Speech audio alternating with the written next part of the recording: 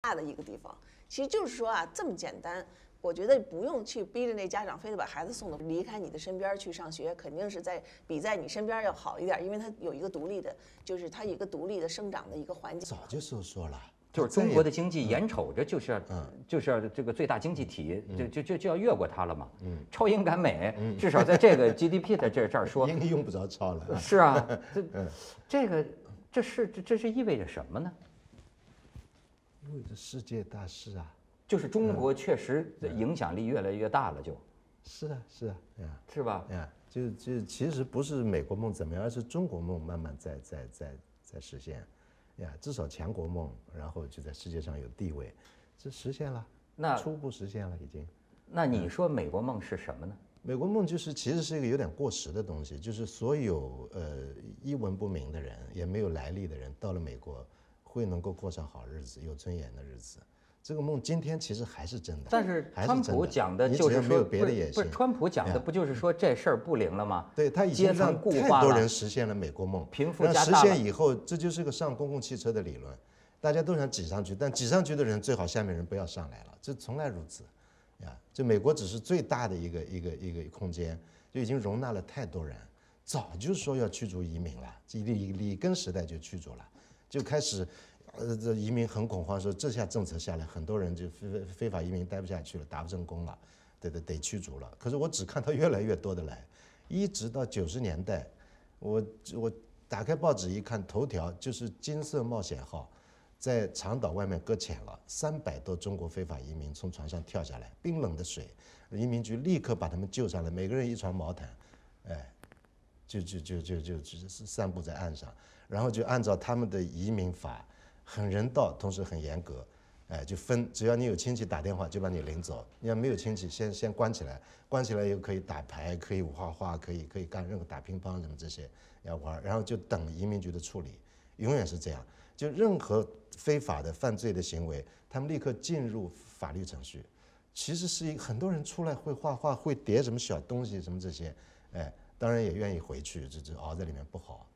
嗯，就是我亲眼见过那样的人，而且有人很后悔，他说我在福建都已经开车有公司了，主要是村儿里面都会骂你说你他妈混到这样还没出国，每家都要派一个出去的哎，每家都要有个出去。所以中国人很多人出去不是因为贫困和无路可走，而是一个面子，所以他去了，去了发现美国不是这样，这个过程早就开始了，不是今天才开始。你你怎么说，徐磊？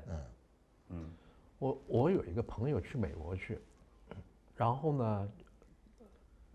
看他一些老的朋友，这老朋友的甚至是过去的政府机构啊，已经做了处长啊什么出去的，因为过去中国和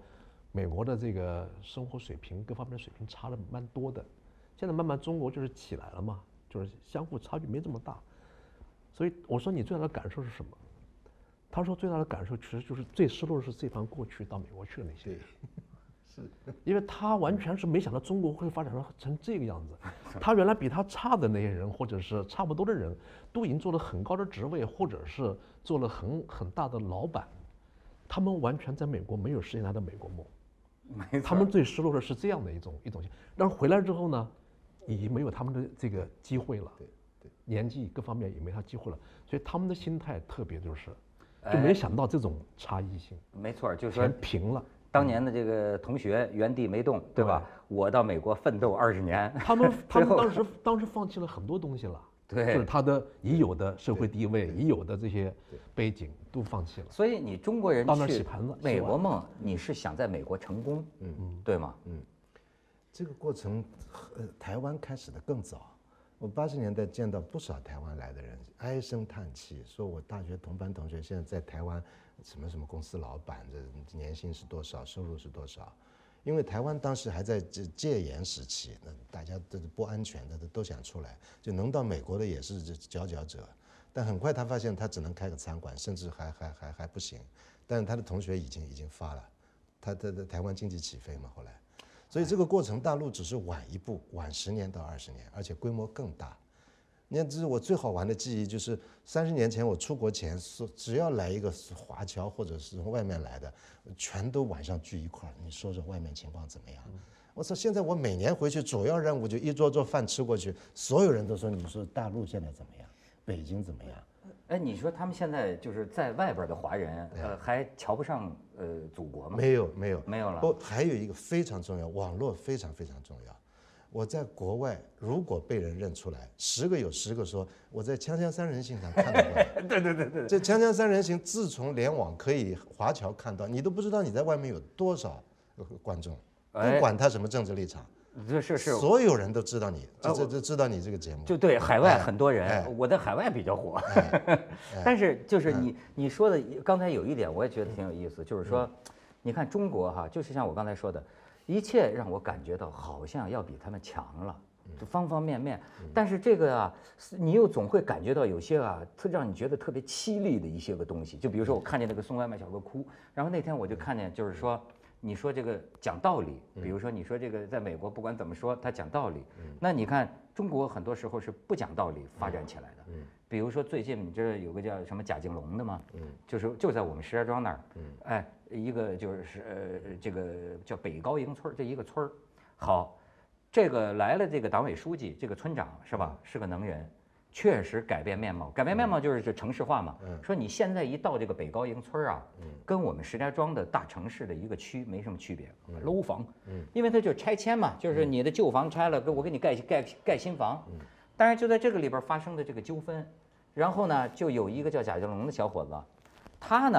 其实也不见得他就占理儿，但是呢他就是说发生了纠纷，他说我守着我这旧房，我就不搬，我甚至要在这结婚。结果呢？他这旧房就给推土机，嗯，给推了，嗯，推了之后，他这女未婚妻也不跟他结结婚了，然后这贾静龙就买这个射钉枪啊，就有一天这个党委书记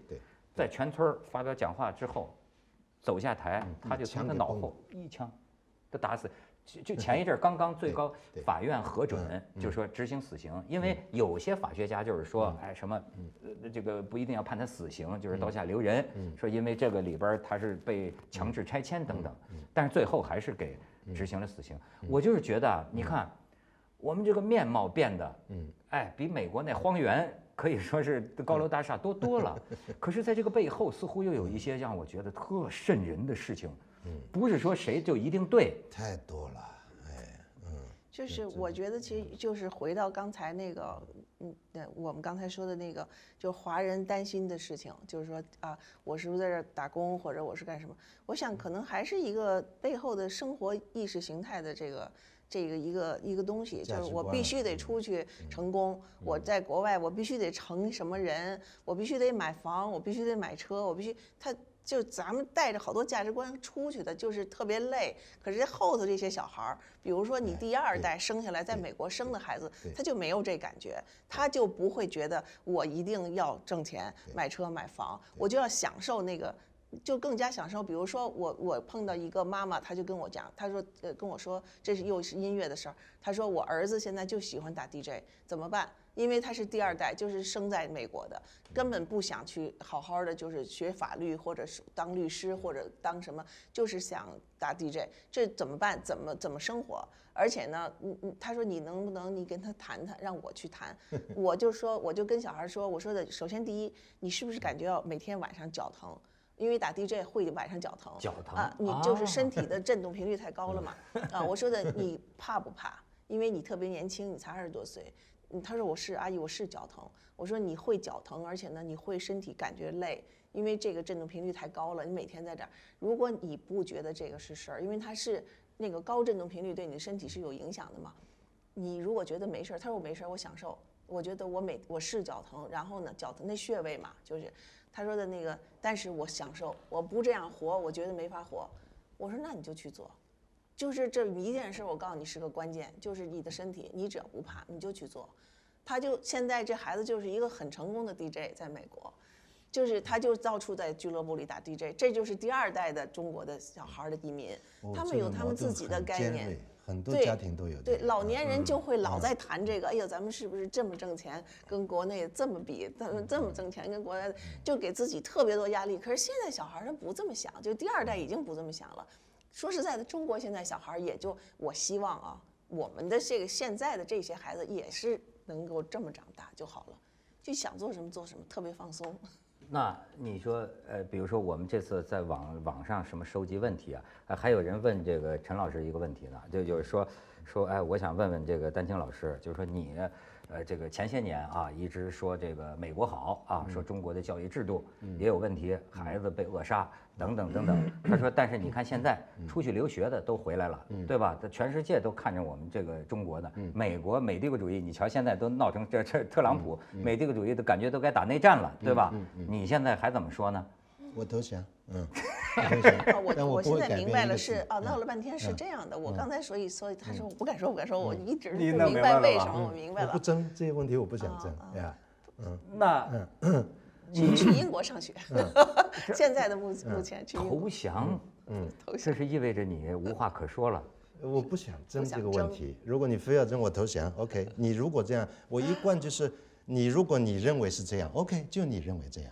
就像你应该让我认为我我我我我的观点。呀，我觉得是这样，我就说出来。然后你觉得不是，你也说出来。那么我问您这么一个问题嗯：假呃，假如说现在你的呃孩子嗯。啊，就是现在到了要决定是否出国留学的嗯时候，你在现在的这个历史阶段、历史关头，嗯你还一样让他去美国上学甚至是定居在美国吗？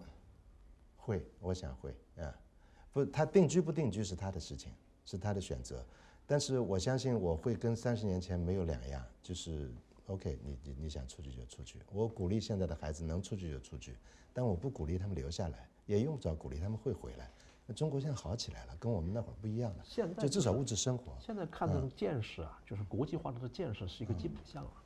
我觉是个基本项对。而且我觉得其实跟过去不稀罕我这么想吧，我们把事情想得更简单一点儿。你生在一个河南的小孩儿，他肯定妈妈希望他来北京上学。河南还是荷兰？河南，河南，在河南的孩子他想来北京上学，因为我这现在，比如说，在一个小县城，在陕西、陕北特别的农村，他就想去延安上学，就是他觉得他去大地方了。那生在延安的人想去广州上学，可就是其实大每一个家长都希望那孩子去更大的一个地方，其实就是说啊，这么简单。我觉得不用去逼着那家长非得把孩子送到国外或者送哪儿去，就是小孩儿就是离开你的身边去上学，肯定是在比在你身边要好一点儿，因为他有一个独立的，就是他有一个独立的生长的一个环境，他自己去处理他自己生长的环境。其实你可以去英国上学，如果英国太贵了，去苏格兰上学，苏格兰便宜。而我看到过从苏兰苏格兰回来的孩子特别有教养，特别好，就是其实他主要出去了。他就到了另外一个集体，到另外一个集体，然后另外一种语言的感觉，刚才不是说到语言的这种语言的感觉，他就有对自己有一个对照，所以小孩回来的话，再回来的时候，他真的是变成一个孩子，就是特有教养。我听明白我我。想是这么一个回事。就是说啊，咱们这个经济啊，不管多发达，大楼不管这个多漂亮哈，但是这个人的教养，好像还是得到外边长长见识。